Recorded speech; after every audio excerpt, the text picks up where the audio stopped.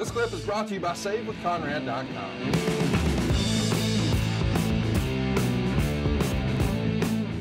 Well, uh, Brock Lesnar, Shelton Benjamin, Jason Jordan, Chad Gable, so many others uh, are all going to go ahead and get the check mark by Jerry Brisco's name. Yep. Of course, he became a, a hardcore champion as well, and lots of other little silly accomplishments in the WWE that got him on TV. But when it came down to uh, fans really paying their respects, he went into the Lou Thesz Professional Wrestling Hall of Fame in 2005, WWE's Hall of Fame in 08, the Florida chapter of the National Wrestling Hall of Fame in 2018. But unfortunately, last year, 2020, after 36 years with the company, Mr. Brisco was let go by WWE. 36 years, though. Hell of a run, was it not? That's what I'd rather look at it as, Conrad. 36 years of one company in the wrestling business is an amazing accomplishment. It is unbelievable. You're absolutely correct.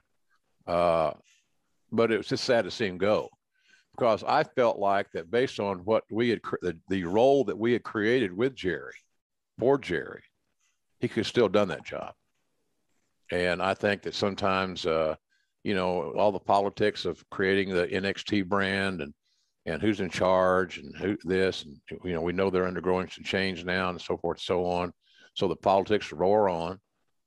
Uh, but Jerry could have still fulfilled a great role, and I think that he still does to kind of unofficially. He'll some coach. See, here's the deal, Conrad. Coaches now believe that Jerry's their guy. Right.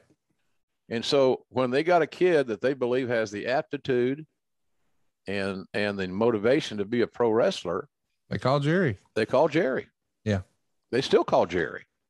And then Jerry then will, you know, turn the lead over to somebody else or, or hook up somebody on a phone call. At the time, it might have been when he was there, Canyon Ceman, whomever it may be, Jerry was still contributing and helping out the WWE because he was loyal for all those years of earning a paycheck, all those 36 years, and the money that he earned and, and so forth. He was still loyal. And that's why we've talked about him a lot today is the fact that he was just so loyal and he had this wonderful eye for talent. Goodness gracious. He was a great eye for talent. Best I ever saw. So, uh, and again, he was re- very responsible for the success that WWE had right after they, we turned uh, uh, uh, public, publicly traded company.